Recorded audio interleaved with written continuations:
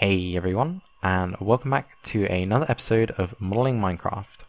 Um, so for a while now, a lot of you have been asking for a tutorial on the animated block models, like these animals here, um, and I will get to that, but first of all I want to sort of do a video on two things. So first of all textures, and then animated textures and everything to do with that, like animation properties and everything. Um, hello giraffe. So I was going to do them both in the same video, but after a sort of brief conversation with Vanilla Burp the other day, um, I realized that there's a bit more to texturing than is often sort of thought of. Um, so I'm going to do a really detailed video on texturing, and then another video on animation, and then finally the animated block models. Um, so that's the sort of plan um, for this for these sort of episodes now. Um, and by the way, you should check out um, some of Vanilla Burp's more recent videos. Um, she's been using resource packs to make really detailed um, sort of bedrooms and a gaming room. Um, and this is her sort of first sort of attempt at um, block modeling. But I think she did an amazing job and they look really awesome. So definitely check those out. Okay, so now on to actually texturing. So to start with, you're going to need a program to make the textures in. Um, now, I personally use a program called GIMP.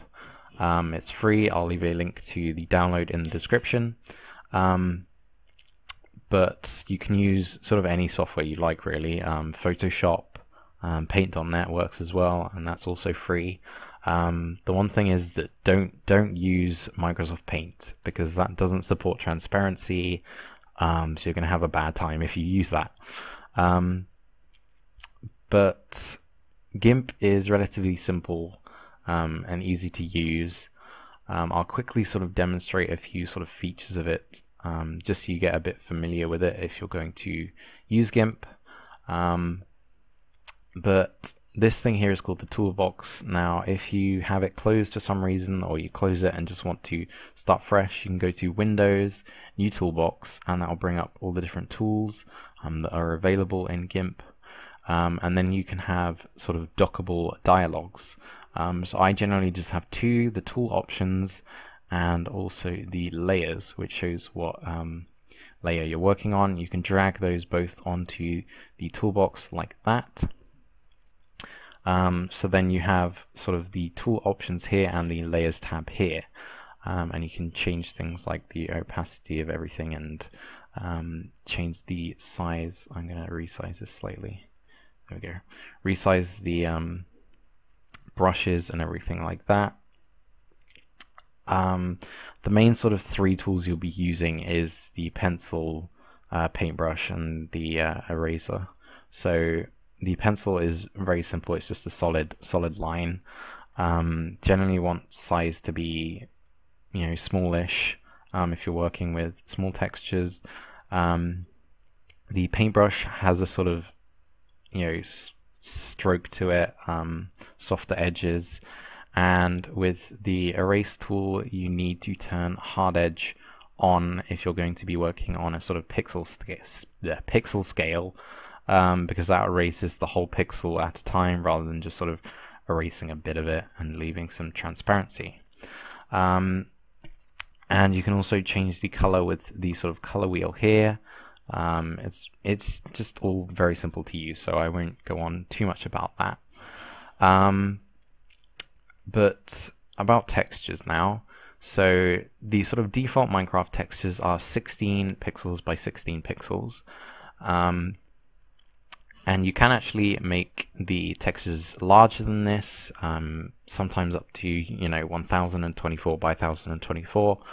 Um, but the one thing I will say if, is if you're going to make textures that are bigger than the default, is that you keep them square and generally in um, multiples of 16. So 16 or 32 or 64, 128, 256, things like that. Um, and the reason for that is that I've sort of talked about UVs before, I think. Um, if you're working on a model and you have maybe an element that's sort of a thin rectangle um, and you want to apply this texture that's sort of highlighted here onto that model. It's a lot easier um, if you're working with multiples of 16 because the sort of UV um, sort of numbers only go from 0 to 16. Um, so it's a lot easier if you can work with sort of 3.5 or 3.25 rather than some really obscure number. Um, and you also want to output the image file as a PNG file. Um, any other file won't work. Um, but let's quickly just demonstrate using um, Stone here as an example. Um, we'll just sort of scribble on this here, um, like that. And we're going to export it. So Control E to export, or you can just go to File Export As. Um, and we want to go to .minecraft resource packs, my resource pack, assets, Minecraft textures, blocks.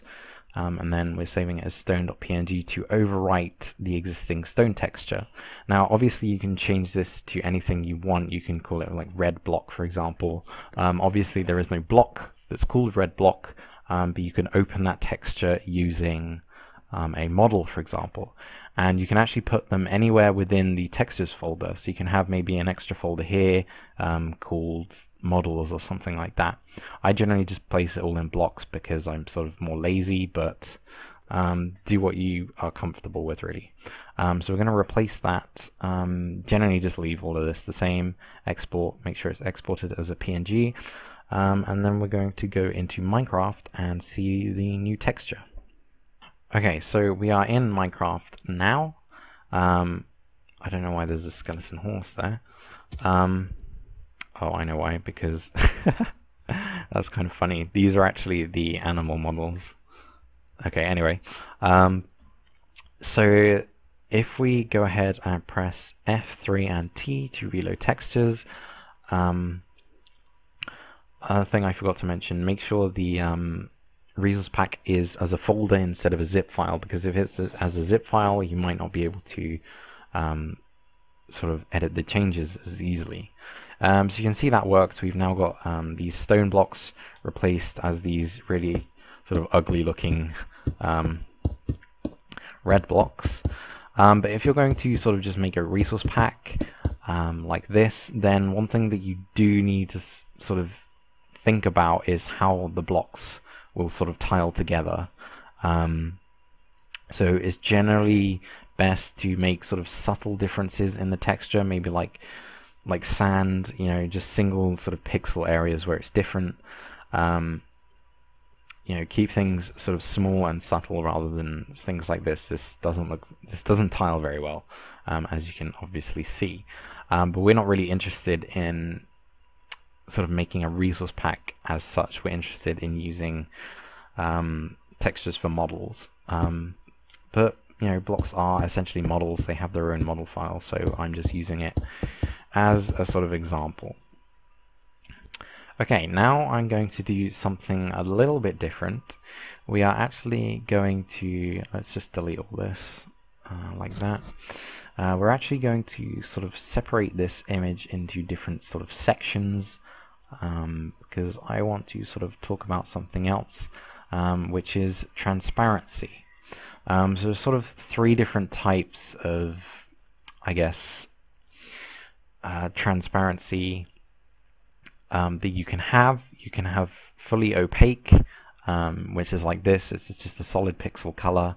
Um, or you can have entirely transparent, which is I should have done that, which is all of this area here, you know, nothing's there, um, no color is shown, or you can have like partial transparency. So I'm actually going to set this as, we'll say around 75%, um, and I'm going to color in these pixels here. Um, so this is actually sort of see-through, but it still has um, some color to it. Um, and then I'm going to change this down to 25%. I'm color this one so you can see this is a lot more faint. Um, the reason I'm talking about this is that it is interesting to see how transparency um, works in the different types of blocks. I should have probably moved these over one, but oh well, it doesn't matter too much. Um, so we're going to save this as stone. We're also going to save it as uh, is it oak?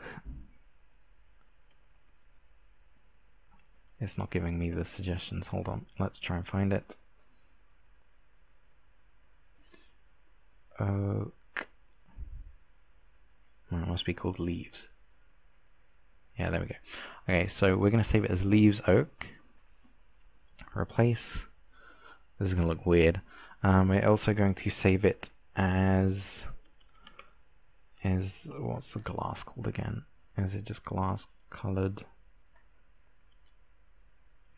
You can see it really helps to have a sort of default resource pack just so you can look up things.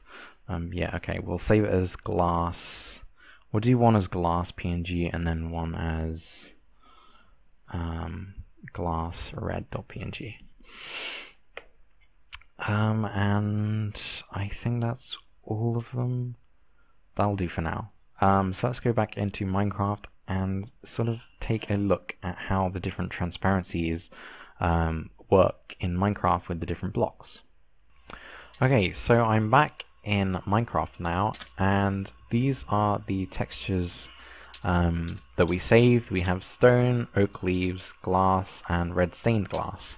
And remember, they were all the same um, actual texture that we saved it as, but the different blocks have a different way of sort of interpreting that texture. And it's actually very interesting uh, to actually see the behavior shown here. Um, so we'll start with stone. Now remember this this um, section here was fully opaque, so obviously that's still fully opaque. Um, then we have the 75% um, transparency, or opacity rather, um, and that's fully opaque as well, and the 25% opacity, and that's fully opaque as well. So any partial transparency will be fully opaque, um, no matter what, with most solid blocks um, that take up, you know, an entire hitbox and um, everything like that. So solid blocks, you know, uh, any any opacity at all um, will be fully um, opaque. Um, but any transparency, like fully transparent um, parts of the model, um, will be fully trans. Uh, will they usually turn black. If this was to be a proper model, it would be black um, in this section where it's stone. But it's actually sort of defaulting back to the default resource pack um, to actually show the stone through it. So that's actually an interesting behavior that I didn't actually, I've never actually done this test before, so it's interesting to see that that happens. Um, but yeah, so any sort of transparency, if you had a model and you had some custom textures, any transparency on a solid block would be displayed as um, black. Um, and then next up we have the oak leaves and the glass. Um, and these actually display in a similar sort of way, um, which is what I was hoping for. You can see that the oak leaves are slightly darker than the glass, um, and that's just because the um, leaves have a sort of color gradient applied on top of them. Um, depending on the biome. So that's all that that is. Um, other than that, it works in the same way. Um, you can actually edit the color gradient, which brings a lot of very funky different effects. You can turn grass purple and everything like that. Um, but they're mostly the same. So you can see that the um, fully opaque is still opaque. The 75%, let me just rain off. Come on, go away. I'm in the middle of the savannah. Um, so you can see that the fully opaque remains fully opaque, the 75% remains fully opaque, but then the 25% uh, um, opacity and the transparency um, is fully transparent. Um, so even if you have a sort of partial transparency, I believe it's under 50%. So as long as it's um, below 50% opacity, it will be completely um, see-through. Um, and that's both for glass and oak leaves. Um, and then we get to the sort of special case, um, which is the stained glass. Um, and these are actually the sort of the only sort of blocks that actually use the proper texture no matter what. Um, so, you know, they'll have the uh, fully opaque uh, and then the partially opaque um, and they, you can actually see that the color is applied on top of them as well. Um, and that's you know that's they're the only sort of blocks that actually take this effect in the real world. One thing that you might not have noticed, however, is that you can see in my hand they all display like the red stained glass. Um, and that's the thing that is very important when you're making models because although solid blocks don't really support transparency very well, um, entities and items do. So for example, if I go ahead and summon an armor stand in here and do equipment, um, we'll do uh, ID stone, you can see that the entity actually does have um, the sort of opacity, partial transparency um, on it as well. Um, the sort of interesting thing about this behavior, though, is that transparency doesn't work very well with block models, um, really at all. Um, so you can see I can actually see through I didn't mean to break that. I can see through the um, stained glass over there, and I can also see through the water over here, um, as well as other things. You know, there are many different sort of um, sort of glitches with how transparency works in Minecraft. Um, and you know, sometimes this can be um, a good thing, um, but most of the time it's a bad thing. Um, so generally, be careful with what you use sort of translucency for. Don't sort of go overboard with it because um, I actually used stained glass to replace um, the model for the oak sieve in planetary confinement. And although it wasn't very obvious, um, there was actually some sort of glitches um, depending on what sort of direction you were facing at it um, with things like the corners like you could see the leg over there through the actual top um, and things like that and that's just to do with the way that the um, elements are actually rendered. They're sort of rendered in the order um, that you make them. I'll try and do a full sort of video on transparency um, with models um, another time after I've done this. Because it is very interesting to see the way that um, the behavior changes. Um, so things like items, um, you can see if I drop them now, they all have the same sort of texture, um, other than the uh, oak leaves, obviously, because it has the color gradient on it. So that's all I really wanted to talk about in terms of textures. Um, it was a slightly longer video for this, because um, there was a lot to explain. Um, but as a sort of bonus for you guys, I thought I'd actually edit the um, color map um, to show you how sort of crazy um, uh, you can get with the sort of color scheme of the foliage and things like that. Um, so you can see this image is actually 256 by 256. Um, but I'm going to hit hue saturation. Um, and this just allows me to edit the hue like so.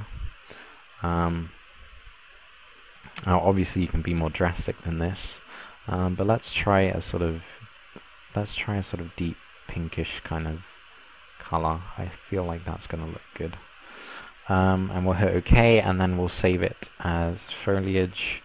And then I believe, since grass is also the same image, we'll just overwrite that as well. Um, it's missing a chunk, but it should be fine. Uh, so let's overwrite both of those. And then let's go back into Minecraft. Okay, I also quickly deleted the um, red textures that we made earlier, so we'll have a fresh sort of resource pack. Um, so I'm going to press F3 and T at the same time now, um, wait for it to reload, and hopefully it should look very bizarre. Not responding, it has to load. Oh, there we go. Um, so you can see by just changing one thing, we've actually changed the entire color map for all of the foliage um, in Minecraft, and this is for things like the grass um, as well. Um, and I actually want to do a sort of episode just on the grass as well, because that has a special sort of property called tint, um, which is kind of very sort of fun to play around with. Um, I wish this all wasn't Savannah. I think I just generated a Savannah world. Okay. Um, this would be a lot more interesting on a normal world. Um, but I'm going to leave this episode there. Um, so I hope that kind of explained a bit about textures and how the, the sort of transparency of things changes depending on whether it's a block or entity and things like that. Um, if it didn't, then maybe I'll make a part two of this and try try and do that again. Um, but the next video will be the animated textures, and then the video after that will be the animated block models. Um, so I hope you enjoyed this episode of Modeling Minecraft, and I'll see you in the next episode. Bye for now.